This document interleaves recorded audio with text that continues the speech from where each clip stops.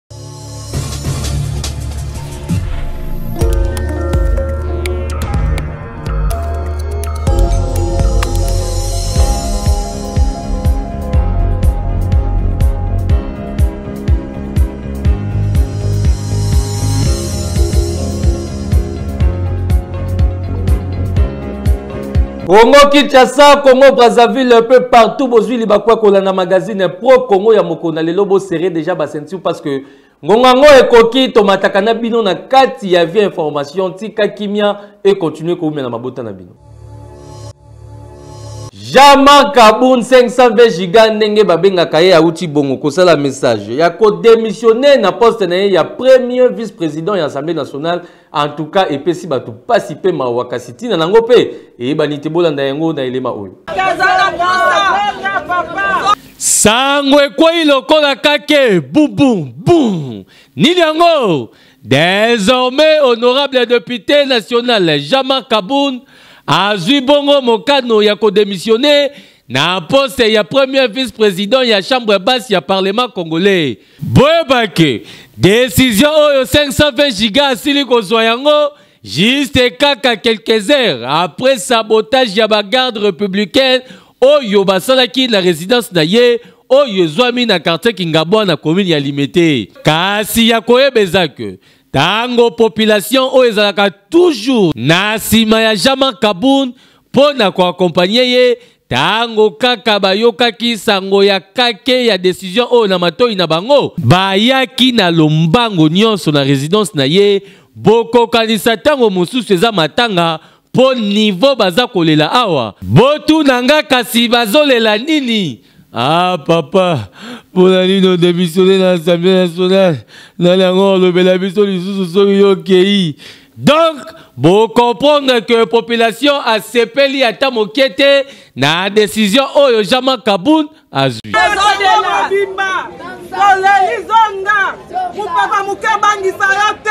Hmm, hmm, hmm, en tout cas, na komona decision oyo Jean Marc Kabund asili kozwa eza deja kotinda solo ya kopola na kati ya classe politique congolaise Et surtout, na kacha IDPS, ezo lumba deja solo ya mabe, po na quelques jours à pamba, okoyoka kaka o oh, wenge epanzani. O oh, Jean-Marc Kabund, akomi président ya parti kingani. Donc, dossier oyo, eza kaka nanu à suivre. population congolaise na koyoka démission ya jean-marc kabundo evandisaki bango kimia te bango mpe bapesi makanisi na bango par rapport ya décision oyo babetise oyo esamba na mboka oyo oke pays tomona babetise oyo tomonake bapolicier na bagarde présidentiel babundi ezali esalama te na monde mais tomonaka na kati ya mboka na biso mais c'est déplorable Mais quant à moi,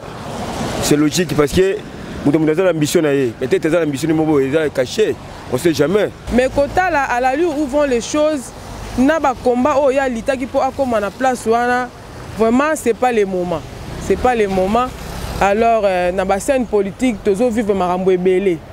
badépart ebele badivision ebele ba ba, ba, mwa hypocrisie na kati wana ozosala basemblant neti olingi mai na sa motema olingi te donc nayebi te soki tokojuge bapoliticien na biso ndenge nini vraiment c'est regrettable to bascène politique oyo ezoleka na mboka na biso bon nayebi te mpo eza kaka congo aya congo azalaka na baréalité na ye bamakambo mosusu bato bakanisaka te dans l'autre cieux na congo esalamaka na yango ah, jamais kabundi en tout cas ndenge adémissionne bon asali bien asali bien mpo agafe makasi omoni makambo oyo asala ezalaka te soki oza vice président ya assemblée nationale elesi ntango nde oza likolo ya nyonso opesa ordre bakanga fardc batyela bersi eta nde baimaki etamboli wana esali bien te esali mpasi komona vraiment ye aza vice président il fallait pas a démissionner ndenge wana si un problème baza même famille politique na conseiller fallait kozonga pa papa moto na moto apose problème na ye nde papa yango azwila bango solution ezalaki makambo mpenza ebima na salon te mpo biso population toyoka vraiment esali propre te lokola ebetaki na matoi na bango lokola kake boyeba ke badifférente personnalité politique ya mboka na biso bakitaki na lombango mpenza na résidence ya jean marc kabundi mpo na kosolola na ye na ntina ya desizio asilaki kozwa badetail na elema oyo tobongiseli bino bato nazwi yango mpo na intere na bino je ne vous trahirai jamais tout ce que je prendrai comme décision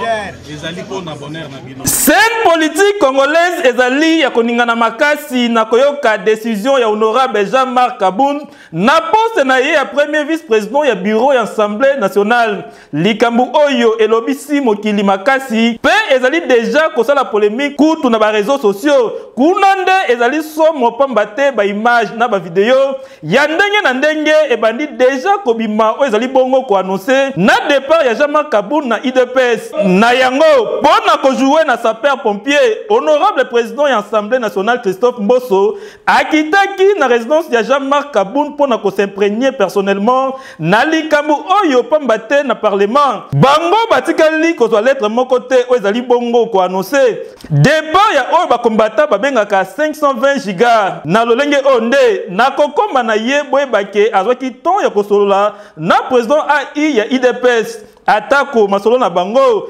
etikali koyebana te kasi boyeba ke na kobima na ye asololaki lolenge oyo na bacombattant ya idps esika tokomi lelo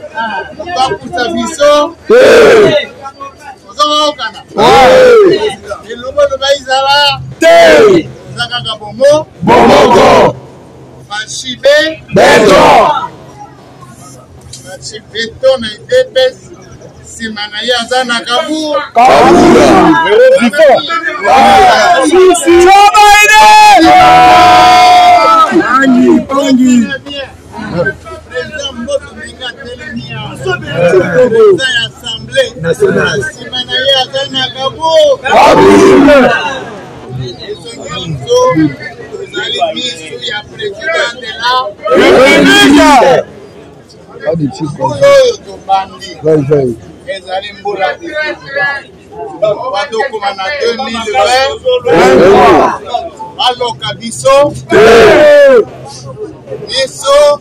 Ja, nga. Misu ja.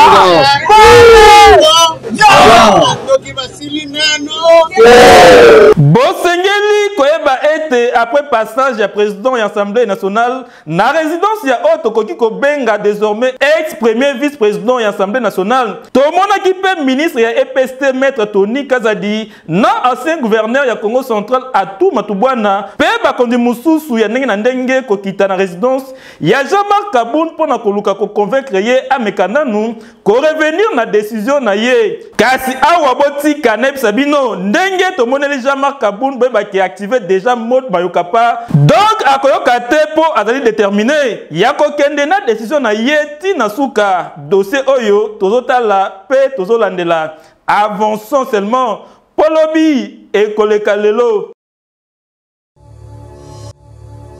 bakangi kuluna moko kuna na quartier kikimi na commune ya nsele mpo na akomisaki ndako na ye hotel kasi apres kokotisa bato asalaki mobange na desordre yango la police etiaki ye maboko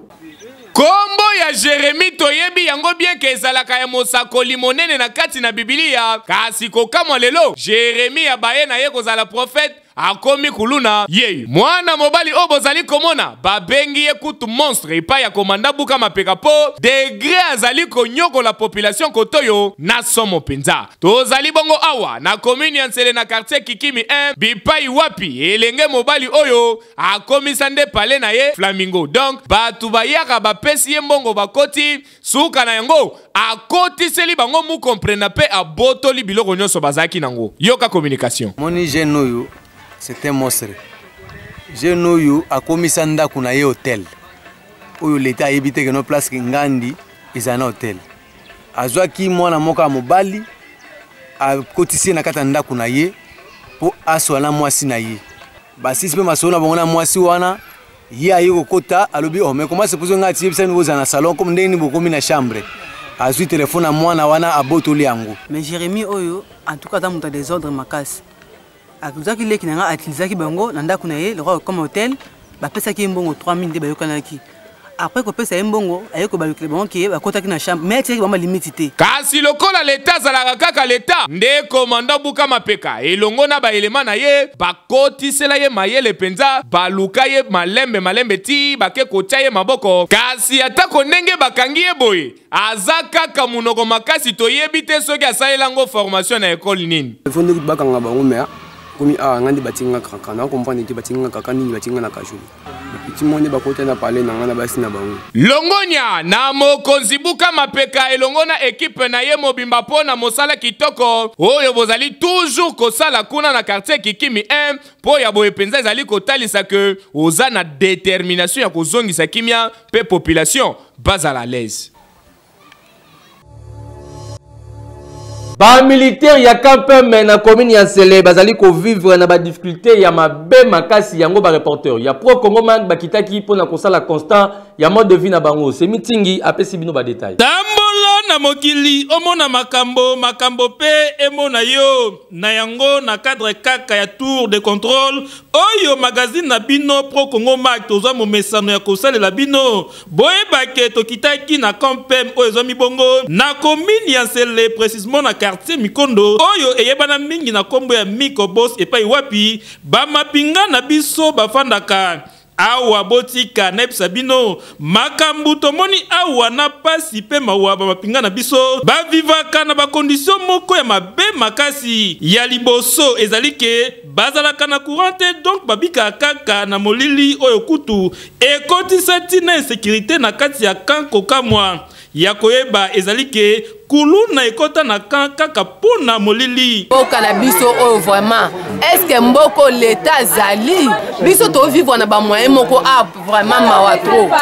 likambo etali courant awa insecurité okondima te eka militaire tolala molili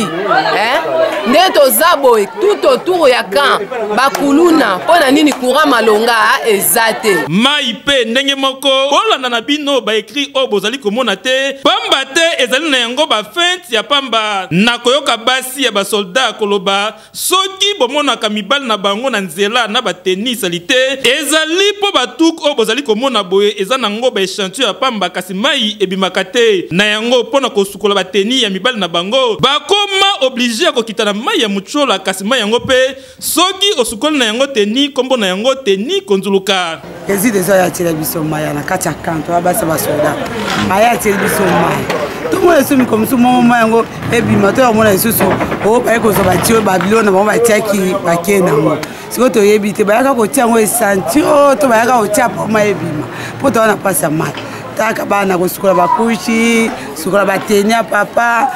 moye tosukola eza te kaka ndenge balobaka le malheur ne vient jamais seul boyebake likolo ya pasi ya mai na courant bakisela bango lisusu bozangi nzela ya malonga mpo na kokende na misala na bango botala bino moko eta ya nzela oyo ezali awa na pasi mpe mawa pamba te bakweyaka mikolo nyonso na zelo oyo etondi awa antuka antuka bakonzi ya leta bobengami na kolandela likambo oyo malamu malamu Pamba te mpo bamapinga na biso basala mosala na bango malamu malamu, oyo ezali bongo ya kobatela mboka, esengeli mpe bazala na bakondisio moko ya malamu. Kasi na ngambo ya SNEL na Regie des Eaux, ata bazalaka mitema mabe ya bino ekomi koleka. Na basoda mpe na pasi ya courant na mayi, baniokolaka population, boye te? Bo changer! Avançons seulement! Po lobi ekoleka lelo.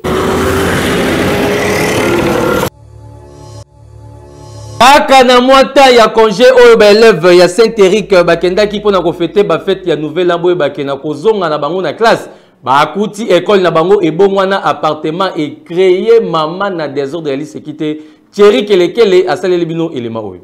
tambola na mokili yomona makambo ya ya mpo oyo ekomi kosalema awa na ville province ya Kinshasa mpenza, tolukela ngo kombo. Landa lisolo. Awa tozali na Ecole Saint Eric oyo ezwami na avenue Ngina na quartier Molo precisement na Lemba terminus. Ecole oyo bana bazwaki na bango inscription kaka ndenge ezalaka, bafuti ba compte Babandi mpe kotanga malamu tii na ndenge baye kozwa mwa konje mpo na bafeti kaka ndenge ezalaka. Kasi tokoma lundi 10 janvier oyo wapi bana esengelaki bazongela bakur e ngaye. Nzoka nde na ntango oyo bana bazalaki na konje, papa promoteur kotoyo soki mpe mpiaka e, soki mpe kanda alukiluki bakomisionere apesi bango cop bamemeli ye bato abendi balaka garanti bato bakota na basale de classe eh? wo donc ekole ebongwani nango bandako ya bato awa tozoloba papa promoteur atie poa donc twila mwisi ya zaza mpe na minite oyo bisika azali eyebani nango te nde bana klase mpe bamoni bongo balobi mm -mm, tokoki kolalela make epola bongo te baye mbala moko kosala sabotage oyo ndenge bozali komona bapanzi panzi kaka ndenge bozali komona na bilili mpo na korevandike badroit na bango tala mosusu ndenge azoki na yango baparent mpe kote na bango komona bambongo ya mpasi oyo esi babimisaki mpo na kofutela bana yango bazwaki desizio ya kokende inde inde ti epai ya bourgmestre na kadre ya kosolola na ye pour que akoka kotrouve solution na lombango mpo na bana yango na micro ya pro congo boyoka ndenge ba communiquer on a payé nos frais scolaires tofuti bambongo ebele tofuti bambongo badusi c'est pas normal baluka biso solution parce que toza na esika bakende te toza awa na komi na lemba toye kodeklare kokutana na bourgmestre mpo na makambo ya ekolo yo saint eric bana bazongi na ndako bakende boyo ekolo ekomi résidence batye bato bakoma kovanda kuna naza policier 398 dollars oyo biso eh, tozofuta yebisanga na miniti oyo ekole epanzani dosie ebungi sikoyo bana bakokende kotanga wapi na kozwa dosie wapi yebisanga na miniti papa ministre telabinga likambo antuka ya boye tokosenga kaka na bakonzi ya mboka bomeka nanu kofongola mpenza misu mpo na kolandelaka baekolo ezali kobotama lokola mayebo awa na kisasa Mpo ya boye mpenza, ezali riske ya makasi mpo bana oyo esi bafutaki bambongo, basombaki basushi na bango, sikoyo na minito bakokende kosuka wapi mpe bakobandela wapi? Antuka ministre ya EPC Tony Mwaba, meka kotala likambo oyo mpo eza na secteur na yo. bamama maraichere ya village mangalabubu kuna na monga fula babeleli na bakonzi batala likambo na bango parce que baekoni moko babimi mpo na kobengana bango na site basalaka bilanga o soit disant baza baja présidence likambo etali injustice sociale na trafic d'influence na barepublique démocratique du congo mingimingi na kinshasa la capitale toyebi te soki tokosuka na yango wapi pamba te Awa tozali bongo na village Mangalabubu oyo ezwami na groupement Mbekani na commune ya Mongafula. Bokondima te kasi ezali ya solo ba mama vege oyo basalaka bilanga awa bazali deranger mikolo nyonso na badongolo miso oyo bakoma kokita na esika oyo kotungisaka bango, kopanza biloko na bango mpe kokangakanga bango kaka mpo na koluka kobongola esika na bango ya kosala bilanga, cite residentielle. Kasi na koyoka bango koloba Bazali na esika mosusu ya kokende te mpamba te na esika oyo nde babokolaka mabota na bango. Tozangi bamibali, tozobokola bana, tozobokola batekolo, bazangi batata bazozwila biso bazotiela biso na baporte ya ndako na mokolo ya lelo tobima awa siko tokokende wapi tokolia ndenge nini tokovivra ndenge nini tokolata oyo tokolata te bazoya koderange biso awa na kati ya zamba konyata biloko na biso misala na biso nyonso to kobebisa kokangisa biso basoda kokɔta na kati kobeta bamasasi ba, ba na ngambo na ye ekolo mabele aloba te mpo azwa zero ekolo mabele pankarte to ndenge bozomona wana nayebi te mpo na nini kosuye nkombo ya président obie kosuye nkombo ya nere ça ça m'étonne tala ba ba, ba intimidation mususu bazokende kosala na mabele ya bato ngai nayebi te mpo kolo mabele ezali ngai papa président botalela biso likambo bino mpe bato ya nere botala eloko oyo oyo beye kotia kombo na bino ngai nayebi bino te ngai natika awa mpo na bapaysan basalaka bilanga bakolela wapi bakolela wapi so baleli na zamba te boza na misala obini bopesa bango chose qui ne vous, est, qui ne vous partienne pas ekomi ya yo non boya kolongola pancarte lokatula pancarte di en tout cas bakonzi ya mboka bobengami na kolandela likambo oyo na bokebi mpamba te boye ezali malamu te kotungisaka bamama ya bato ntango nyonso alors ke na esika oyo nde babikelaka na mabota na bango dosie oyo tozotala mpe tozolandela avançons seulement mpo lobi ekoleka lelo mpo na kolia ngulu na ville province ya kinshasa esengaka nango lisusu kokende na baekala te parceke bajeune moko na cadre ya article 15 bakoma na bango kotambwisa ngulu esi balamba ezalaka na impact mpe ideologie na ville province ya kinshasa badetail na elema oyo mingi mingi eyebana mpo na kolia ngulu ya feeling Il faut kokende na Kapela na commune ya Kalamu kasi à travers bana mibali oyo na article 15 na bango ya kotekaka ngulu balamba okolia na yo ngulu sans pourtant ose deplace bakendaka na bachambre froide bakosomba ngulu balambi yango bien bien na sauce ya tomate bamisusu mpe basalaka nde ekipe nationale ya misuni bakosangisa makoso foi fokofoko foko, Pe misuni ya ndenge na ndenge, sima bakotia yango na babol na mutu e wo. Destination, babalabala ya ville ya Kinshasa. Bazalaka na impact ya liseki te parce que na prix ya mangondo, okolia ngulu, bakataka ba morceaux ya 100 francs, 200, 300 francs meme ne 500 francs soki olie yango na kwanga yeba ke oza na yo mobimba ya kokamwa ezali ke meme kwanga na bango bazali koteka bakataka yango selon mbongo ya client botala ndenge baza kosomba yango na banzela oyo kutu aboyi na ye baponela ye ye moko en ligne azopona baparti draguer alingaka mingi Q 100 Q 200 Q 300 donc avec 300 francs ya pamba alie ngulu lokola na kapela ebongo na bawenze bazalaka na succès ya makasi parce que soki olingi odécouvrir bango tuna bamama wenze paso basela yango vraiment c'est naturel taka na dépensa même 3000 francs kaka na ba 100 francs chaque jour tokopesa kaka longonia na bajeune oyo Ndenge baboya na bango vie ya kokoma ba chekevara mpo na kochekaka bato na banzela, oh prezi yo oleki bango wumela. Bapona na bango vie ya article 15 ya koliesa ba kinois ngulu na prix moko ya mangondo. Kaka na ba 200 na ba 300 baza ko gagner, yango baza kobokolelaka ba mabota na bango. Oyo kutu soki otali ye, azangi mambuta na landu te na ndaku oyo ye aliesaka. Yo moto ozali kolala pongi, ozanga eloko ya kosala, yebelaka po okokanga famille, bandoki. Fulu moko ya monene esalemi kuna na Pascal na commune ya Masina ekomi kopesa pasi makasi mpo na population ndenge bakomi expose na bamaladi ya ndenge na ndenge. Ezalaka nini yango komona presque na bawenze mingi ya ville province ya Kinshasa nde bipai wapi bafulu ezali kobotama makasi mpe consequence nango kine elongwe label ekomi nango la poubelle ndakisa tozali awa na wenze ya pascal na ngambu ya commune ya masina pembeni kaka na boulevard lumumba botala bino moko ndenge population bazali koteka na kati ya bosoto et surtout bazali tellement expose na bamaladi ya ndenge na ndenge Kasi selon ma information tozwi sur place etalisi ke awa bapolisie mosala na bango kaka koyaka kozwa bambongo ya salongo kasi mpo na kolongola fulu yango wana kutu etali bango soko moke te yoka communication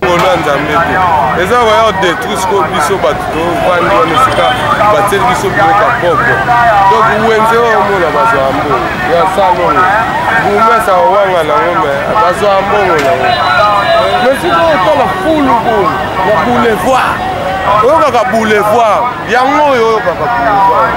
salongo baya kozwa mbongo ya salongo mikolo nyonso bazozwa mbongo bakei biso mpe tozokombola tokangi biloko me bato ya kolongola biloko yango bazomonana te mpo bakende kobwaka yango yango omonikeni mingi mingi bafula ezozongaa kaka yango totuni ye ndeko yebisa biso nanu awa kin bopeto ezalaka te hey, eh, tika boye papa bourgmestre ya commune ya masina Place oyo ezali nango non loin ya maison communale donc pembeni kaka na biro na yo ya mosala veut dire olekanaka awa papa sikoyo ntango olekaka omonaka population oyo ozali kokamba bazali koteka na bakondisio ya boye eyebisaka yo eloko moko te papa eza nango kaka motuna eh? antuka ya boye tokosenga na le premier citoyen de la ville ya kinshasa gentini ngobila mbaka papa Awa na Pascal balobi ke kin bopeto ezalaka nango te donc bato otindaki kotoyo depuis bayaki ko découvrir bilengi ya couloir kimbuta kotoyo bakomaka na bango lisusu te yango tosengi na yo papa matisa nanu dose ya suivi na kin bopeto pamba te bila na yango yo nde tokotuna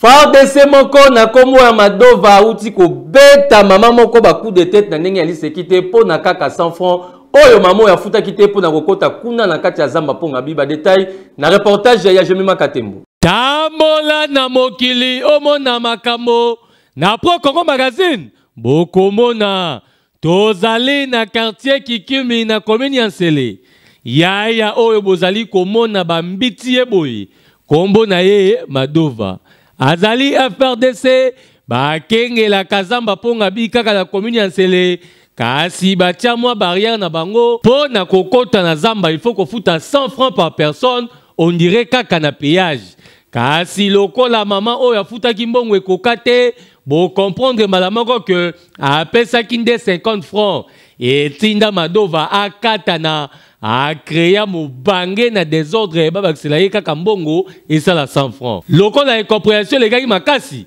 abenda bilili ya Yemoni Ngidi ndenge abandaka kotya ASB Club ya babi ya coup de tete. Mbala moko abenda mama ngidi na lisu resultat na yango livimbi ndenge kaka bozali komona mama mpe alobi mm -mm, nakotika ye boye te alata ye lokola sonzo aswa madova minu aswinga minu eh? eh, ye moko nde moto aswaki nga minu agangi aswinga aswinga na kanda wana abeta mama genou na libumu menge ebimaka te ebimi alors que mama oyo azalaki na pota ya operation mobali ya mwana mwasi oyo ayoki sango na mosika apota mbangu mpo na ya kotuna soki likambo yango ezali nini kokoma kaka aza kokoma mpo na kofungola mbanga azwa nanu premier soin ya mbate madova menga mpe etangaki ye madova abenga bana mai na ye bakanga mwana mobali oyo basinga bakata ye forme nyonso batiki ye kaka ndenge abimaka na maternite mwasi ayoki somo apota mbangu na la polise abuka mapeka abenga la polise baya kokota likambo na yango bayaki kotya madova maboko Ye azala kuna na barrière il paraît que persi militaire eh, basengaka ba 100 francs kuna liboso soki mama nde bakendaka zamba boye soki kamwa 100 francs aza nango apesi mbala moko ntango bayobi te nakanaka yo ale coup de tete pa mama yango nomoni mama wana lisu esali ye ndenge wana rouge biso osepeli nango te yango namoni totyaki ye maboko akoro ya ye mama plaignante ntango akipa na biso amwa totikela te mosala na biso eza nde kodefendre population na biloko na ye tokomi na barrière plai tofutaka bambongo tolongoli ba 100 francs na biso tozopesa ya madova ata 100 francs eza ye amoni mama azemi aleki biso mpe tosimi nzela mpe tolandi simane e tolandi ye mbala moko yo oyebi te na, na kanaka yo akangi nga na bilamba akangi nga na bilamba coup de tete apesi nga mtu nagangaki te bato nyonso bazoyeba te madova ya madova aza fardc azwi mobali abandi kobeta ye abeti ye mbata na litama ye mpe aboyi ngai na kozongisa eloko te abeti ye double akweyisi ye na se mobali abandi oganga asalaki mabe te ye moko nde ayaki asimbi nga nga mpe mpo nasala defense na ngai nde natindikaki ye nde kotindika